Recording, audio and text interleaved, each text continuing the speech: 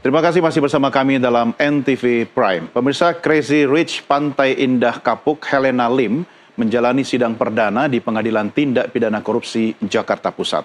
Jaksa penuntut umum mendakwa dengan pasal tindak pidana korupsi sekaligus pasal pencucian uang dengan hukuman penjara maksimal seumur hidup.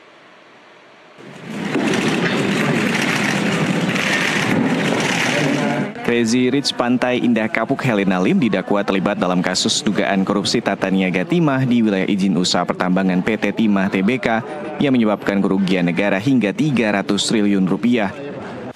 Dalam persidangan terungkap peran Helena selaku pemilik perusahaan money changer PT Quantum Skyline Exchange atau QSA yang diduga menampung dana pengamanan yang dikumpulkan Harvey Muiz selaku perpanjangan tangan PT Riven Bangkatin.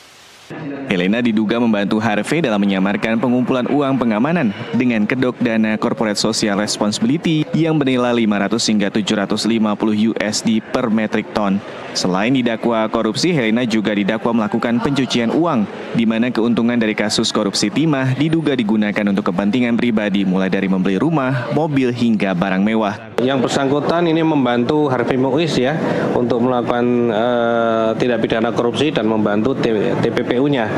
Ya, beliau menyediakan, yang bersangkutan menyediakan uh, eh, PT Quantum Skyline Exchange sebagai sebagai money changer untuk menampung hasil-hasil kejahatan yang dilakukan oleh uh, para terdakwa lainnya gitu. Berapa Pak?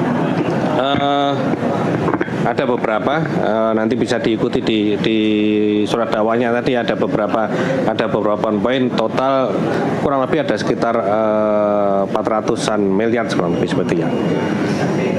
Kalau untuk gitu. terdakwa Harvey Mois ada rencana untuk menghadirkan Sandra Dewi nggak? Uh, uh, tentunya ada, tapi kita kita melihat kita menunggu dulu uh, proses persidangan dan proses pem, alur pembuktian yang nanti akan kami lakukan. Uh, ya kita urut dulu pembuktian tipikor tentunya. Nanti ya. Akibat perbuatannya, jaksa penuntut umum mendakwa Helena Lim dengan pasal tindak pidana korupsi sekaligus pasal pencucian uang dengan hukuman penjara maksimal seumur hidup.